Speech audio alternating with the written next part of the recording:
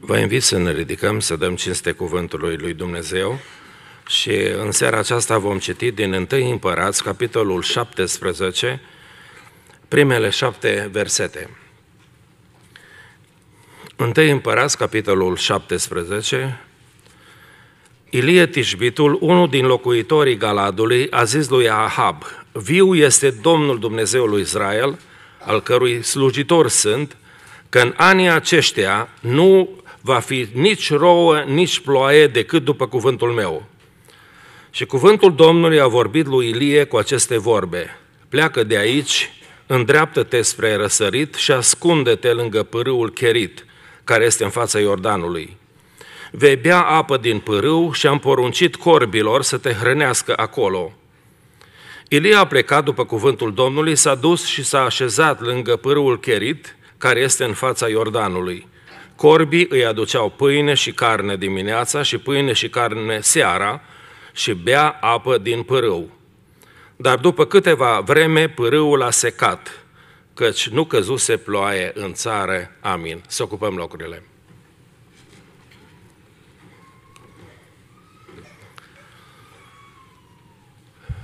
Am început de curând un nou serial în biserica noastră, Vremea lui Ilie. Pentru că noi credem că vremurile în care noi trăim poartă amprenta vremurilor lui Ilie. De fapt, și Domnul Isus Hristos a spus că în vremurile din urmă um, vor semăna vremurile din urmă cu vremurile trecute. Profetul Maleahi chiar menționează că în vremurile din urmă va trebui să vină Ilie. Probabil că vremurile din urmă vor semăna mult cu vremea în care a trăit acest proroc al lui Dumnezeu, Ilie.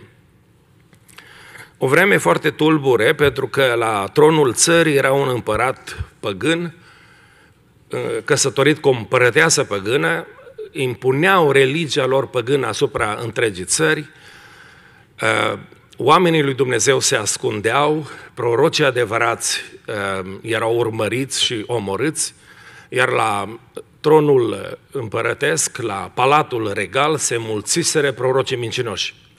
Erau finanțați de stat, proroci mincinoși și preoți ai lui Bal, ehm, erau finanțați de acest guvern apostat care întorsese spatele lui Dumnezeu. Și atunci Dumnezeu a chemat un om pe care l-a trimis direct la Ahab, Poate cea mai scurtă predică pe care o veți găsi în Biblie o ține omul acesta. Viu este Domnul Dumnezeului Israel, a cărui slujitor sunt, că în anii aceștia nu va fi nici rouă, nici ploaie decât după cuvântul meu. Amin. Spui adevărul ăsta și fugi Ilie acum. Mulți dintre noi când ne gândim la Ilie, ne gândim la omul care strălucește pe Carmel, nu-i așa? Omul care coboară foc din cer, omul care uh, distruge prorocii lui Bal și preoții lui Bal. Uh, ne gândim probabil la omul care este răpit la cer de carul lui Dumnezeu. Avem un PowerPoint, dacă vreți să mă ajutați, uh, vremea lui Ilie, Universitatea Pustiului. Um, Totuși, ne este foarte greu să vedem că până ajunge acolo, până când ajunge acolo, uh, Ilie are de trecut pe la această universitate a pârâului uscat. Trecem cu ușurință peste perioada de formare a lui Ilie. Trecem foarte ușor peste lecțiile pe care el le primește și uh, cred că este foarte important să înțelegem în această seară că înainte ca Dumnezeu să te folosească la toată plenitudinea chemării pe care El ți-a făcut-o, trebuie să te instruiască prima dată Dumnezeu și să te pregătească. Trebuie să treci pe la școala Lui, trebuie să treci pe la Universitatea Pârâului Uscat. Sunt foarte multe lecții importante pe care trebuie să le învățăm în seara aceasta de la Ilie, care este format acum de Dumnezeu să fie omul lui Dumnezeu. El a fost un om din Galad, unul din locuitorii Galadului. Și trebuie să ajungă omul lui Dumnezeu. Nu este suficient să te trimită Dumnezeu undeva să lansezi un mesaj foarte puternic, că ești omul lui Dumnezeu. Nu, trebuie să te formeze Dumnezeu să ajungi omul lui Dumnezeu. Vom vedea începând de astăzi că Ilie trece printr-o școală extrem de aspră în care Dumnezeu transformă acest uh, locuitor al Galadului, al, un om de munte, aspru, dur, îmbrăcat într-un, într-o manta de păr și încins cu o curea, nu? ca și Ioan Botezătorul. Un om care uh, este format în uh, uh, regiunea aceea aspră și dură a muntelui. Un moț, dacă vreți, din România, uh, crescut în frigurile și zăpezele munților și care îl formează Dumnezeu acum să fie omul lui Dumnezeu. Cred că apariția lui Ilie la palatul lui Ahab, în fața lui Ahab, a fost nu numai stranie, a fost ciudată. Cred că toată lumea a mărmurit nu știau ce să se aștepte de la omul ăsta cu, cu un echipament atât de ciudat, nu? Cu o vorbă așa de aspră. Cred că foarte dramatic Ilie și-a prezentat mesajul și imediat după predica asta, cuvântul Domnului spune, Ilie, fugi. Ne-am aștepta, după ce am ținut o predică, nu, să vină aplauzele, să vină cineva să ne felicite. Uh, problema este că uneori Dumnezeu spune, spune adevărul și fugi spune adevărul și fugi. Asta se întâmplă cu Ilie, Dumnezeu vorbește și spune, du-te și ascunde-te acum. Câteva lucruri vom învăța în această seară. În primul rând, Ilie este trimis într-un loc ales special de Dumnezeu. Dumnezeu îl trimite pe Ilie într-un loc ales de el. Versetele 2 la 4. Cuvântul Domnului a vorbit, pleacă de aici, îndreaptă-te spre răsărit și ascunde-te lângă pârâul Cherit, care este în fața Iordanului. După predica scurtă, ținută în fața lui Ahab, așa cum spuneam, probabil este uh, o predică foarte, foarte scurtă, nu o declarație profetică, după care Ilie dispare, Dumnezeu îi zice, du-te, ascunde-te, du-te la pârâul Cherit. Este foarte interesant că uh, numele acesta cherit înseamnă a tăia jos, a scurta, a ciunti. Probabil Dumnezeu spune acum, Ilie, urmează să ne tundem. Uh, o să tăiem ramurile alea sălbatice încă din personalitatea ta, din caracterul tău, și așa cum se tunde o vie sau așa cum se tunde un pom să dea roade bune, Dumnezeu trebuie să ciuntească acum, să taie jos o parte din personalitatea ta care nu se potrivește deloc cu chemarea pe care eu ți-am făcut-o. Ilie este acum la pârâul Cherit, așa cum spuneam, Cherit înseamnă a tăia jos, a scurta, a ciunti. Apoi, natura acestui loc este un loc singuratic, este un loc arid, în care Ilie Tijbitul trebuie să devină omul lui Dumnezeu este locul în care uh, Dumnezeu îl ascunde de reflectoare, dacă vreți, pe Ilie. Până acum a fost în fața națiunii întregi. Cred că subiectul discuțiilor de la Palatul lui Ahab câteva zile a fost Ilie. Cine este, domnule, prorocul ăla care a venit și ne-a tulburat cu un asemenea mesaj? Acum Dumnezeu îi spune, fugi, ascunde-te, du-te. Ieși afară din uh, preocuparea tuturora, pentru că avem câteva lecții pe care trebuie să le învățăm Ilie, trebuie să stai față în față cu mine, ascuns de lume, ascuns de peisajul public, să ne lămurim argintul, aurul care este delămurit în viața ta, Elie. Va trebui să stăm singuri. Cred că lecția cea mai importantă pe care orice creștin trebuie să o învețe este că în singurătate, în relația personală cu Dumnezeu se desfășoară și crește, de fapt, adevăratul nostru caracter. Cine nu întreține o viață personală de rugăciune, de devoțiune, cine nu-L caută pe Domnul în afara reflectoarelor. Știți că atâta timp cât bat luminile pe noi și suntem în fața oamenilor, ne putem preface ușor. Dar când stăm în fața lui Dumnezeu, nu te mai poți preface cu nimic. Ești același, acela care te-a făcut Dumnezeu, care te știe Dumnezeu. Ca să existe o transformare radicală a caracterului tău, trebuie să existe o asemenea întâlnire personală cu Domnul. Locul pe care îl alege Domnul este foarte special. Este locul în care Dumnezeu îi poartă de grijă lui Ilie de acum încolo. Când te trimite Dumnezeu undeva, El te trimite pe cheltuiala Lui. Dacă ne gândim apoi și la natura locului respectiv, uh, în locul acesta se petrec niște lucruri extraordinare. Gândiți-vă, Ilie este ascuns acum aici de frica lui Ahab, de frica dușmanilor lui. Este ascuns de publicitate, este ascuns de societate. Este singur cu Dumnezeu. Dumnezeu vrea să-l aibă pe Ilie numai pentru sine, pentru o perioadă de timp. Un loc în care Dumnezeu îi poartă de grijă uh, de la bun început, nu-i așa? Este foarte interesant, fratele Wumbrand spunea că în evreiește cuvântul acesta corbi, care i-a dus de mâncare lui Ilie, este cam același cuvânt cu arabii. Și fratele Vombrand avea obicei să spună, zice, dacă ar fi venit arabii să-i ducă mâncarea lui Ilie, cred că era o minune mai mare decât corbii să-i aducă mâncarea lui Ilie. Nu? Mă rog, nu știu dacă erau arabi pe vremea aceea prea mulți, dar cert este că Dumnezeu poartă de grijă lui Ilie într-un mod remarcabil. La părâul acesta cherit, contează enorm de mult atitudinea care o avem. De ce Dumnezeu mă ascunde aici, nu? De ce a trebuit să plec eu din lumina reflectoarelor? De ce a trebuit să plec eu din uh, aplauzele tuturor? De ce trebuie să mă ascund eu aici, care eu sunt omul lui Dumnezeu? Dar ce am făcut eu, Doamne? Am ascultat de tine și am spus ceea ce mi-ai spus tu. De ce trebuie să ajung eu aici? Atitudinea noastră contează enorm de mult.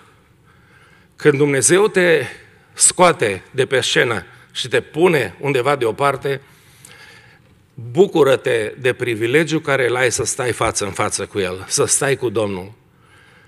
Când rămâi numai cu Dumnezeu, vei descoperi că Dumnezeu este suficient. Că nu mai ai nevoie de nimeni altcineva. Foarte mult ne-am gândit zilele trecute, uh, am, am, am urmărit un uh, film uh, absolut dramatic, singurătatea unei femei aici în vestul sălbatic. De fapt, tot filmul este aproape un singur personaj. Și ne-am gândit enorm de mult și am discutat cu soția despre singurătatea asta noastră omenească. Se pare că singurătatea este unul dintre cele mai îngrozitoare lucruri. Nu ne place să rămânem singuri. Se spune că oamenii se uită la televizor pentru că nu vor să rămână singuri cu Dumnezeu. Nu vor să rămână singuri cu ei înșiși. Și atunci societatea a creat ceva care să ne inducă în eroare, să, să evadăm din această singurătate când stăm noi și Dumnezeu față în față. Ilie n-avea televizor, Ilie n-are tranzistor, Ilie n-are mobile phone, Ilie n-are nimic. Ilie așteaptă în fiecare dimineață să apară niște corbi, nu știu, cel puțin doi, dacă vorbește la plural, probabil au fost doi. Aduc pâine și carne. Și seara vin înapoi să aducă pâine și carne. Și Ilie bea apă din pârâul care curge pe alături. Dar Ilie stă singur cu Dumnezeu la acest pârâu în care Dumnezeu tunde, taie din viața lui Ilie lucrurile care nu aparțin unui copil al lui Dumnezeu. Aici, la pârâul Cherit, Dumnezeu se ține de promisiune. Ilie este trimis pentru protecție și instruire la această universitate Cherit. Întotdeauna când Dumnezeu face o promisiune, ea implică o planificare din timp. Este un pârâu pregătit să curgă cu apă pentru tine.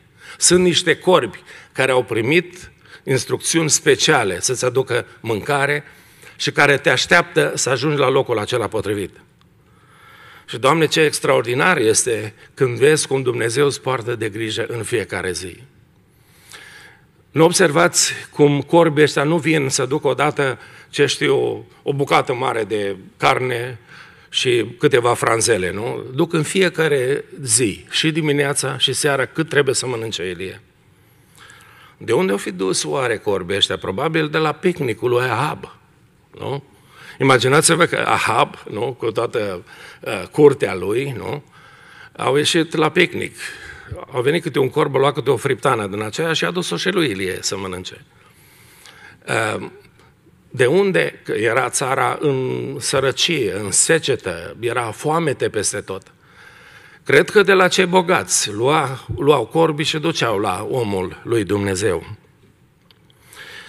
Înainte să se ivească o nevoie, Dumnezeu asigură deja proviziile, le pregătește din timp pentru tine. Trebuie să pășești în binecuvântările lui Dumnezeu, în pregătirile pe care Dumnezeu le-a făcut deja din avans pentru tine.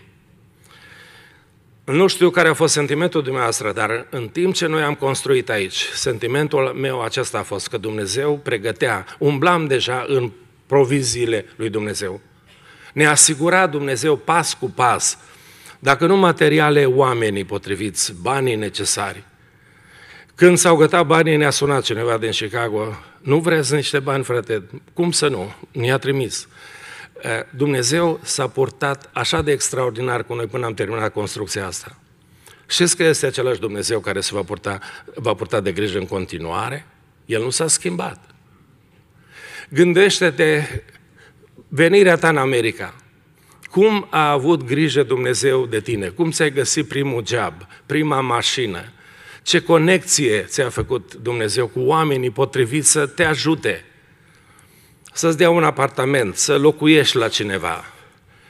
Pentru că Dumnezeu, când poartă de grijă cuiva, când faci o promisiune cuiva, El planifică din timp resursele pentru tine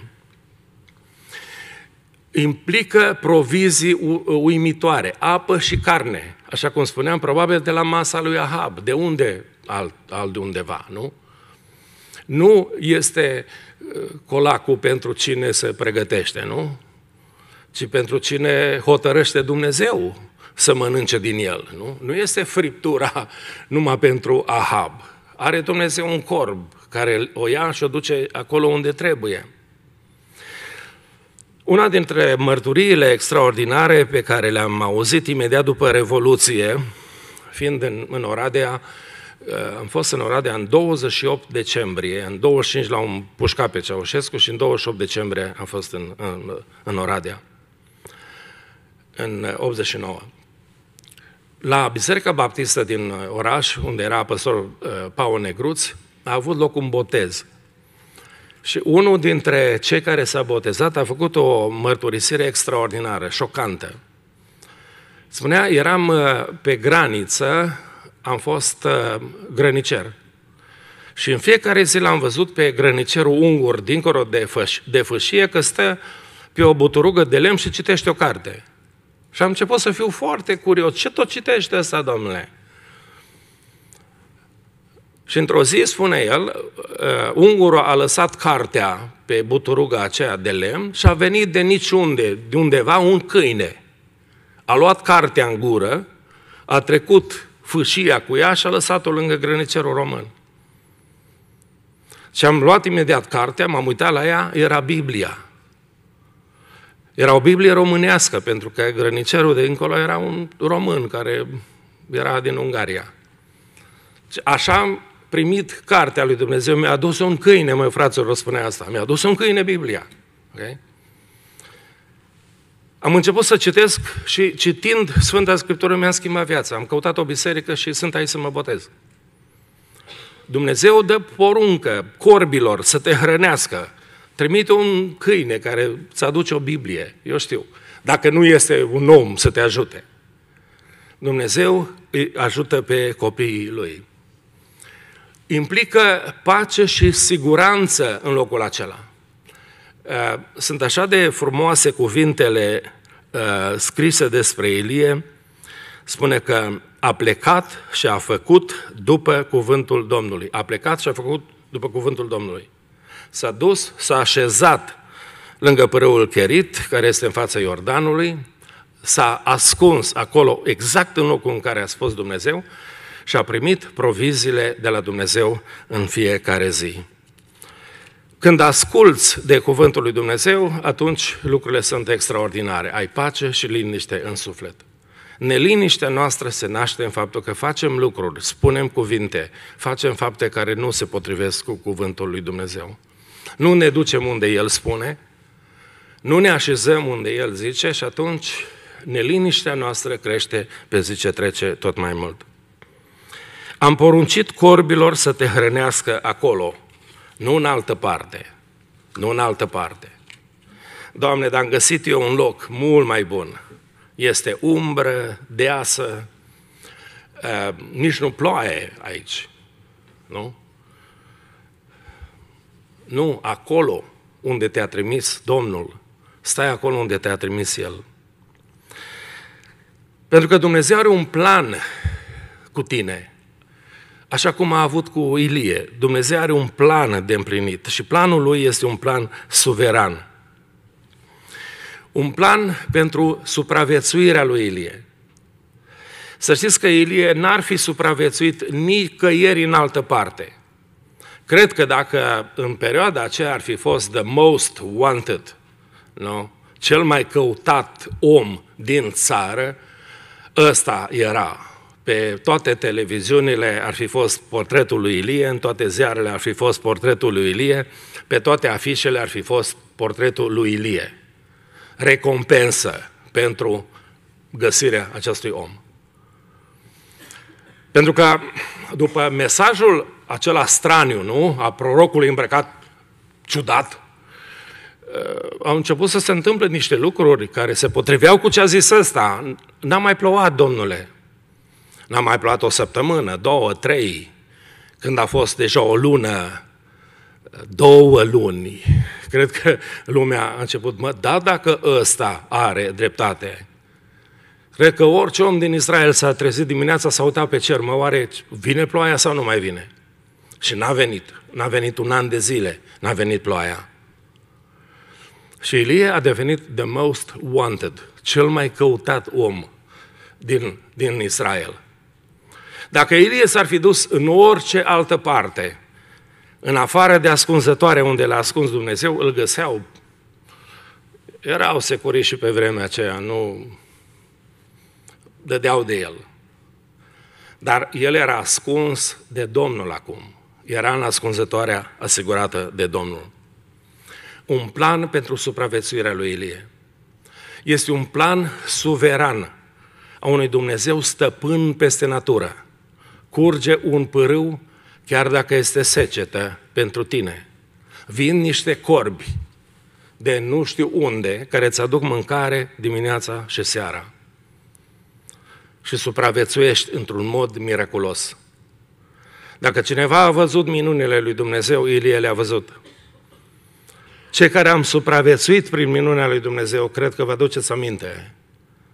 Minunile care Dumnezeu ne le-a făcut ca să supraviețuim. Și am supraviețuit, pentru că El a fost bun. Ne-a asigurat resursele necesare. Un plan care aduce întotdeauna satisfacție de plină. Ilie primește exact cele promise de Dumnezeu. Nu este lux absolut deloc. De două, două mese pe zi. Dumnezeu nu face niciodată lux. Doamne, dar nu s-ar putea să fie și un lunch, nu? Așa un snack între... N-ai putea să trimiți și ceva prăjituri, din când ceva dulciuri, nu? Dumnezeu, dacă te binecuvântează, te binecuvântează with the basics, cu lucrurile de bază, cu lucrurile fundamentale, cu lucrurile care te fac să supraviețuiești. Dumnezeu știe exact de ce ai tu nevoie și îți dă exact cât trebuie. Doamne, rația asta ta, porția asta care mi-o dai e cam mică. Nu vrei să dai un supliment. Nu, Elie nu comentează, este mulțumit, este happy cu steak cu cât el este de mare, cu pâinea cât este ea și cu apa pe care o bea. Nu vrea Pepsi, nu vrea nimic altceva. El știe că Dumnezeu poartă de grijă și îți dă de basics. La vreo 20 de ani de, după Revoluție m-au sunat din țară fratele meu și mi-a spus că tata este la spital. Dar ce s-a întâmplat? Zice, a făcut o criză diabetică, comă diabetică. Doamne ferește! Noi n-am avut în istoria familiei noastre nimeni să aibă probleme cu diabetul. Dar de ce? Ce s-a întâmplat? Păi zice, tata de la Revoluție a băut numai Pepsi. El a hotărât că a băut destul apă și acum a venit libertatea. Salut! Apă nu mai bea deloc. Nu? Și bea câte două sticle din alea mari pe zi de Pepsi. E? Comă diabetică a făcut. Dumnezeu știe de ce ai nevoie și îți dă exact lucrurile de care ai nevoie. Planul lui este suveran, este pentru supraviețuirea ta, este planul unui Domn care stăpânește toată natura și cooperează întreaga natură cu nevoile tale, un plan care aduce satisfacție pe deplină, pe de, satisfacție de plină și Ilie primește exact ceea ce a promis Dumnezeu. Dumnezeu s-a ținut de promisiune.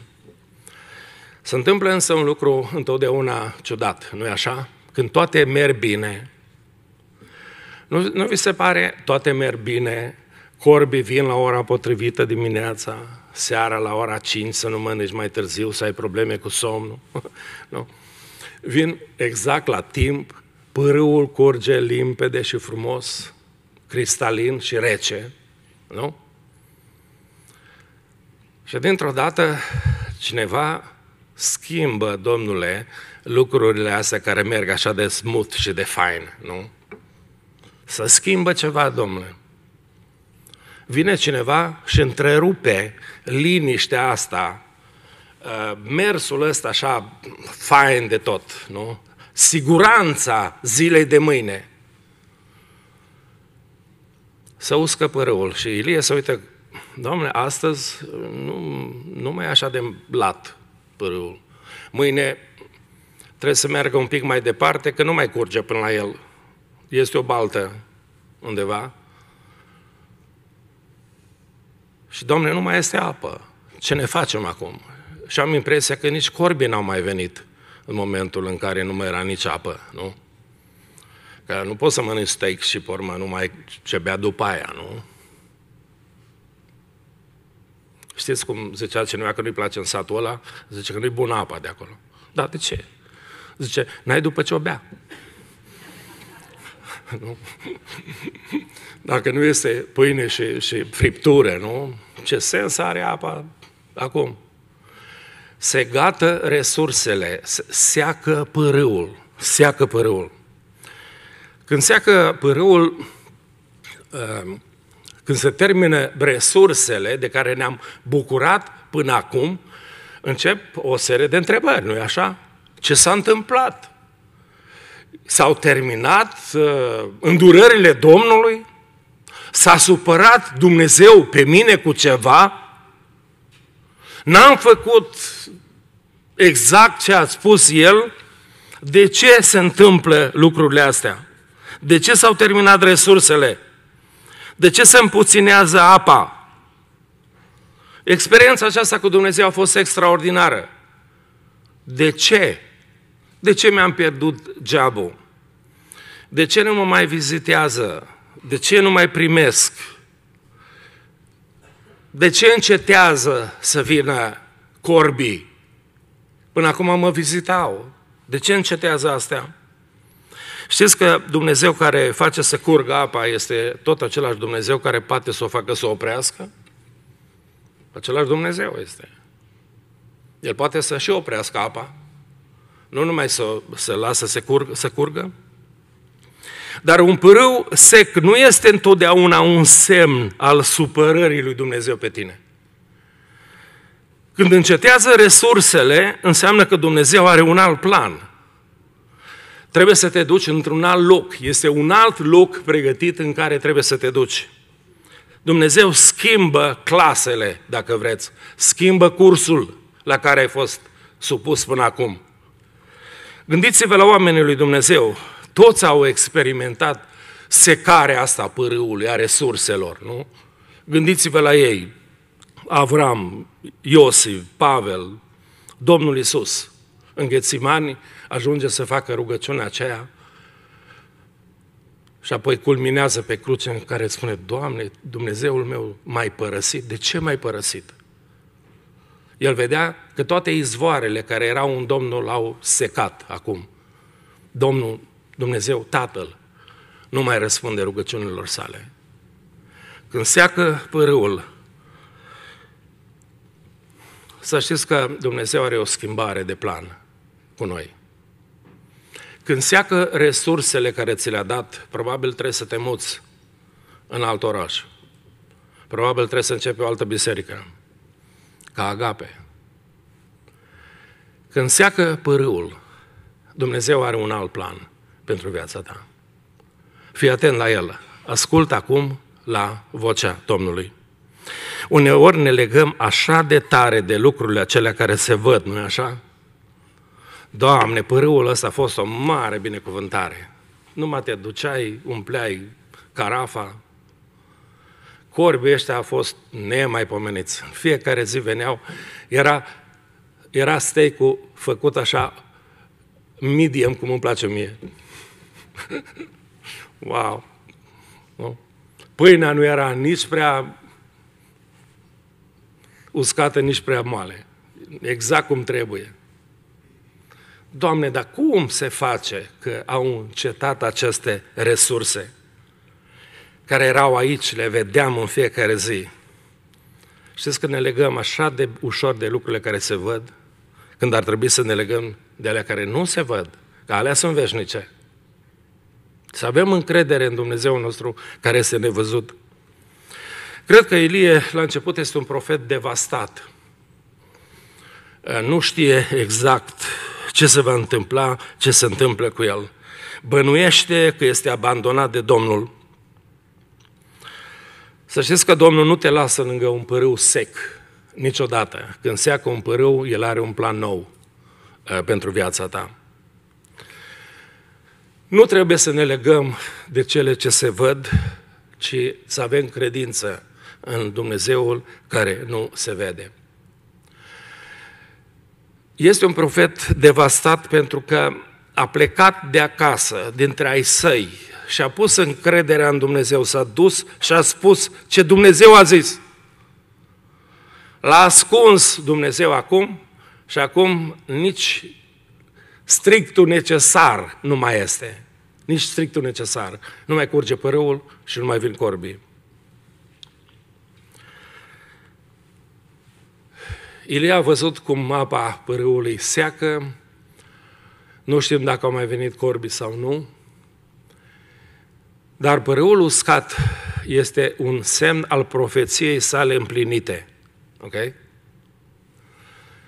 Cred că Ilie a spus, o, oh, dar eu am prorocit că o să vină o secetă peste toată țara, nu o să mai ploaie. Și acum se vede și aici la mine că nu mai este apă deloc în țară. A secat și pârâul meu prorocia mea s-a împlinit. Ascuns undeva departe de lume, Ilie nu știe ce se întâmplă cu țara lui. Dar văzând părâul, părâul că se usucă, el vede împlinindu-se prorocia pe care el a făcut-o lui Ahab. Dumnezeu are alte lucruri noi de făcut cu Ilie, așa cum are lucruri noi de făcut cu mine și cu tine. Când ne seacă părâul și știm să ne purtăm bine, știm să avem o atitudine corectă, știm să așteptăm vocea lui Dumnezeu și știm să ascultăm de ea, vom absolvi și vom primi diploma de absolvire a Universității Pârâului Uscat, ca și Ilie. Dumnezeu îl trimite la o altă școală pe Ilie. Câteva concluzii. În primul rând, înaintea victoriei de pe Carmel, Ilie are nevoie de o zdrobire de sine mare de tot. Este un om de la munte, aspru, dur și Dumnezeu are nevoie să-l tundă, să taie, să taie jos partea aceea din personalitatea și caracterul lui Ilie care nu face cinste Domnului și nu se poate încadra în planul lui Dumnezeu. În al doilea rând, a doua concluzie, să știți că toți va trebui să absolvim universitatea aceasta a părâului uscat. Unii am trecut-o, unii am absolvit-o, unii am trecut pe acolo. S-a întâmplat ceva rău? Nu. A avut loc o schimbare majoră, e adevărat. În viața mea, schimbarea aceasta a fost dramatică. M-au chemat la trusul de construcții și mi-au spus că nu mai pot să fiu inginer pe șantier, va trebui să fiu muncitor. Și cum era directorul meu, un tip foarte glumeț, spunea, mă băiete, te, te punem în rândul clasei conducătoare. Te promovez. Cum, domn director? Păi zice, nu conduce clasa muncitoare țara asta. Ba da, no, de mâine ești muncitor. Și m-a pus muncitor, muncitor cu înaltă calificare. Așa de înaltă calificare aveam că nu aveau ce să-mi dea de lucru. Nu? Eram prea calificat pentru... Stăteam de la un birou pe la altul, apoi au dat afară pe soția mea, m-au dat afară cu totul pe urmă, a secat pârâul, a secat uh, sursa devenită a, a familiei noastre. Dar Dumnezeu avea în vedere o schimbare majoră. Am venit în America și Dumnezeu ne-a dat altceva, un alt, uh, o altceva de lucru. Schimbarea aceasta a fost dramatică. Cred că și în viața noastră, în viața ta, asemenea momente când seacă pârâul, Dumnezeu are un moment de cotitură în viața ta, un turning point. Va urma ceva deosebit în viața ta. Și ultimul lucru, înainte ca Dumnezeu să te poată folosi, trebuie să fim zdrobiți la părâul acesta cherit. Trebuie să trecem pe la părâul acesta cherit. Până nu te zdrobește Dumnezeu, până nu taie tot ce este firesc eh, din viața ta, nu te poate folosi Domnul. Ilie nu este încă omul lui Dumnezeu, are nevoie de câteva ajustări majore. Vom observa că îl trece Dumnezeu pe la alte școli. Îl trimite în străinătate acum, este emigrant și îl dă în întreținere la o văduvă, săracă lipită pământului.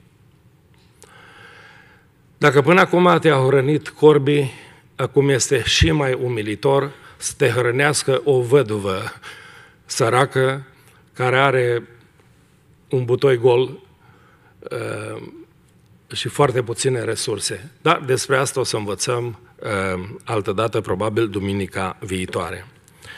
Vreau să închei spunându-vă, nu pierdeți nădejdea, nu cădeți în disperare atunci când vedeți că pârâul seacă. Dumnezeu are un alt plan pentru tine. Încetează slujba care o ai, încetează porțiunea aceasta din viața ta. Dar Dumnezeu are altceva pentru tine care vei vedea pe parcurs că este mult mai bun și mai folositor decât a fost până acum. Haideți să ne ridicăm în picioare și să mulțumim uh, cu toții Domnului și aș vrea să vă gândiți în mod foarte sincer la momente din acestea de criză, de cotitură, când vi s-a părut că nu mai vin corbii și seacă părâul businessul nu mai merge, uh, banii nu mai vin, uh, resursele se termină, frigiderul se golește. Gândiți-vă la momentele acelea. Și mulțumiți lui Dumnezeu că ați supraviețuit. Și mulțumiți lui Dumnezeu că v-a dat altceva mai bun după pârâul acesta cherit. A început o viață uh, nouă și Dumnezeu a avut un nou plan. Și mulțumiți lui Dumnezeu.